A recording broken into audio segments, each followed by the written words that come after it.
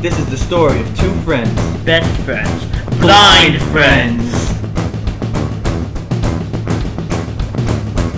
said that he liked my shirt. I said to him that chicken pot pie. It's been a while since we caught on fire. My shirt is stuck in the clothes dryer.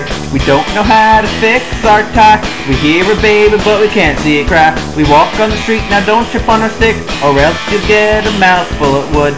We try to read a book but fail. I better learn how to read that braille. Blind friends, blind friends, we're best buddy blind friends. Watching Raiders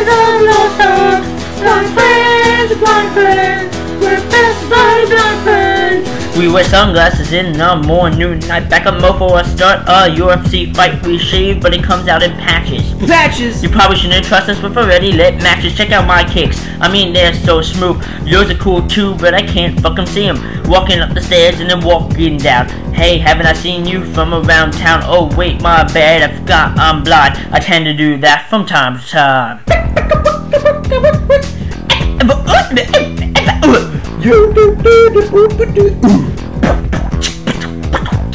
I'm gonna have the.